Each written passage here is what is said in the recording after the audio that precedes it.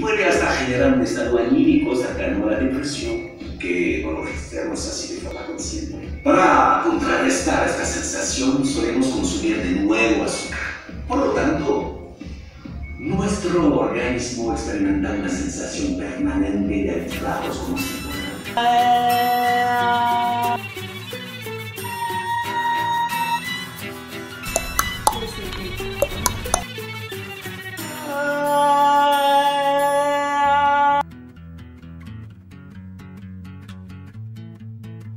¿De qué trata Los Hambrientos? Pues mira, Los Hambrientos no es propiamente un espectáculo, es más bien un documental escénico, donde nosotros buscamos a partir del concepto de biopolítica, que es un concepto acuñado por Foucault, mantener o sostener más bien la tesis de que lo que comemos determina lo que pensamos. El tema central es la alimentación como sistema de control social, cómo hoy en día los individuos están siendo controlados por el sistema a través de lo que comen. Yo estoy aquí preparando los deliciosos lunch de mis hijos, un frutzi, una lechita Nesquik, un gansito marinero, una bolsita de papas y un delicioso sándwich de jamón con queso. Y pan blanco, por supuesto. El tema de la alimentación es uno de los más vastos y de los menos atendidos por, pues nada, por la filosofía, por las artes, como, como tema de reflexión. Entonces, pues nos centramos a eso. Y particularmente nos centramos en todo el universo de la alimentación como punto de reflexión, al ser un acto tan cotidiano eh, en la vida de todos nosotros eh, y lo tomamos como un espacio en donde incluso podemos tomar una postura política y tomar acciones y decisiones políticas al ser responsables de qué es lo que nos metemos al cuerpo como alimento, qué es lo que, eh, yéndonos al extremo paranoico, pues que incluso determina lo que pensamos y determina cómo, cómo energéticamente, emocionalmente e ideológicamente nos va, nos va conduciendo en, en la vida. En principio decidimos hacer tres grandes bloques. Uno es el azúcar, otro es la carne y otro es las enfermedades. Lamento decirle que la colitis crónica derivó en neoplasia. ¿Cómo voy a tener Alzheimer si tengo 22 años? Eso le da a los viejitos. No podía hacerme la idea de que el destino de mi familia era volvernos todos un montón de algodones de azúcar. El sistema nos controla a través de lo que comemos. Es algo sorprendente y es algo que nunca nos hemos puesto a pensar, pero justamente eso es lo que nosotros tratamos de concientizar ahora a los espectadores a que nos pongamos a pensar realmente pues qué es lo que nos llevamos a la boca. Eh, porque el control del cuerpo se ejerce hoy en día esencialmente a través de las empresas agroalimentarias que controlan a los consumidores a través de las sustancias agregadas a los alimentos o el privilegiar ciertos alimentos en contra de otros para generar eh, efectos secundarios en los cuerpos de las personas, eh, enfermedades y demás que se vuelven también una especie de nicho de consumo para el sistema. ¿Cómo así? Bueno, pues eh, la teoría de Foucault lo que dice es que el sistema no solamente busca controlar lo que pensamos, sino también busca controlar nuestros cuerpos y sus procesos biológicos. Y si hay algo que no podemos dejar de hacer, además de respirar, de tomar agua y de recibir luz solar, pues es alimentarnos. Entonces nosotros sostenemos la tesis de que el sistema, a través de la alimentación, busca pues controlarnos, básicamente. ¿Qué te gustaría lograr con Los Hambrientos? Pues mira, a mí lo que me gustaría lograr es que la gente pudiera iniciar un proceso de reflexión, como me ocurrió a mí, de reflexión acerca de lo que consumo en mi día a día. Que las personas se interesen, se cuestionen, investiguen qué es lo que ahora están comiendo. Como se preocupan por lo que se van a poner cada día, pues que igual se pregunten pues qué es lo que me estoy metiendo al cuerpo y qué es lo que esto que me estoy metiendo al cuerpo, qué implicaciones tiene a mi alrededor, ¿no? Si hay un eh, super objetivo, como diría Stanislavski, sería de, de lograr que los seres humanos podamos recuperar paso a paso nuestra soberanía alimenticia. Hoy en día nuestra alimentación está, ha sido entregada, ¿no? está, está en manos de los grandes consorcios, de las grandes empresas. de 20 megaempresas, entre las cuales las más famosas son Kraft Food, PepsiCo, eh, Danone, Nestlé, eh, Coca-Cola Company, etcétera, son, son, son 20 que controlan más del 95% de la alimentación mundial.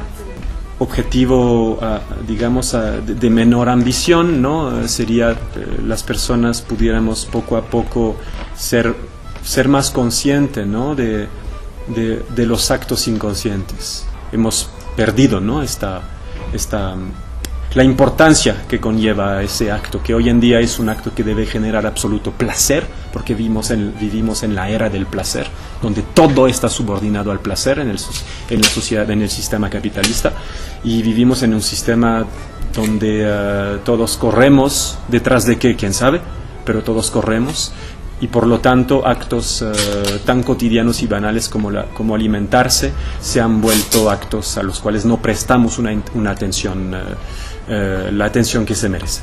Ahora las enfermedades que ya están muy de moda son el cáncer, el Alzheimer. Justo hace unos cuantos años atrás esas enfermedades eran muy mínimas o no existían. Igual eh, nosotros nos hemos vuelto un poco paranoicos eh, y estamos justo como en la investigación de saber si realmente lo que comemos, lo que el sistema nos está dando para comer, no es un, plan maquiavélico en el que también tenga que ver eh, el área farmacéutica.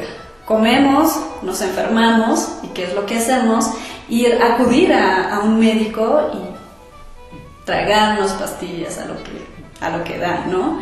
Justo, ¿qué es lo que podemos hacer para evitar toda esa situación? Después de mi crisis existencial, de ponerme a llorar como Magdalena por el drama de mi vida, me puse a buscar opciones para tener una vida más llevadera empecé a leer todas las etiquetas y ahí me di cuenta de toda la mierda que le echan a los alimentos. Ay, esta es una paranoica, pensé pero se me quedó el gusanito de la curiosidad. Empecé por lo que tenía más a la mano, artículos, películas, documentales, hasta Netflix había un buen de cosas. Lo que más me sorprende es cuando dice que las empresas agroalimentarias le agregan azúcar y sustancias a sus productos para volver dependientes a sus consumidores al grado de enfermarlos voluntariamente. Yo cómo iba a saber que las costillitas barbecue estaban atascadas de azúcar. ¿Cuál es el papel de los animales dentro de esta obra? Uy, el papel de los animales es súper importante eh, justo abordamos el tema de la carne. Nuestra educación nos han enseñado a, si no comes carne, no estás bien nutrido. Si no comes carne, no te va a dar eh, anemia. Mm, y pues no, realmente no, la carne no la necesitamos. Por eso nunca nos lo, mm, nos lo enseñan en, en ninguna parte. Justo ya tenemos una educación en la que seguimos las tradiciones, pero si nos ponemos a pensar y nos ponemos a investigar un, un poco sobre nuestra historia, antes realmente los mayas, los toltecas, no, no consumían carne. Eh, digamos que el sistema se ha encargado de alimentar la idea de que somos omnívoros por naturaleza, cuando nosotros sostenemos que somos omnívoros por evolución. Nos han enseñado que la proteína animal es necesaria e indispensable para nuestra, para nuestra sobrevivencia.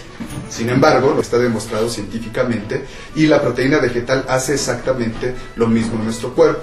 Entonces, como el sistema lo que le interesa es acumular capital, pues crea mecanismos de sobreproducción de animales para nuestra alimentación. Y el problema con esta sobreproducción de animales es que está devastando nuestro planeta. Y además de devastar nuestro planeta, pues está el dilema moral de que se tiene que morir especies animales que también sienten, que también viven, que también respiran, que también comparten el planeta con nosotros, a costa de un simple capricho del paladar. Y entonces yo creo que nosotros podríamos evitar esto. ¿No? Que literalmente es un holocausto animal, ¿no? O sea, si somos nosotros capaces de entender la palabra holocausto judío y sentirnos eh, pues mal ante esta catástrofe, pues entonces también saber que cada día se realiza un holocausto para los animales. Entonces digamos que este es como el papel que juega un poco las especies en nuestro, en nuestro documental escénico, básicamente. También existe la opción de que puedas decir, no, prefiero no comer eso, yo creo que es preferible no comer eso, a comértelo. Los invitamos a todos a que nos acompañen en Los Hambrientos, ensayo escénico sobre biopolítica. Pues vengan todos a ver Los Hambrientos, documental escénico sobre la alimentación. Ahorita estamos en la segunda temporada. Nosotros somos el colectivo Teatro Sin Paredes. Nos estamos presentando con Los Hambrientos. En el Centro Cultural del Bosque, justo atrás del Metro Auditorio. En el Teatro Orientación. Los lunes y los martes a las 20 horas hasta el 21 de marzo, excepto el 20 de marzo, que es un día feriado en el que no habrá función. Como ven, ahorita estoy preparando un poco de comida. Esto es para la última parte. Entonces me gustaría hacerles una atenta invitación para que nos acompañen a los hambrientos. Eh, y dentro de la invitación también está la petición a que traigan algún alimento o bebida para compartir, justo para esta dinámica del final que se pone bastante interesante. Entonces acá los esperamos. Pues los esperamos a todos aquí para que hagamos una reflexión en conjunto respecto al tema de la alimentación. Van a salir boquiabiertos. Justo abordamos un tema que a muchos no les gusta, a otros sí, y pues qué mejor que tú decidas qué es la decisión que quieres tomar. Es fundamental poner el- la alimentación en el centro de nuestras reflexiones contemporáneas. Alimentarse es una decisión política. Gracias.